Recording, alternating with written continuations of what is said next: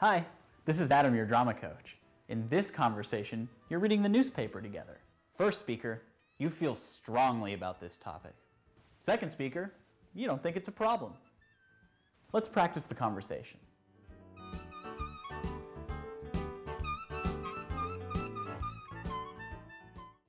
Have you seen this article about the new marriage law?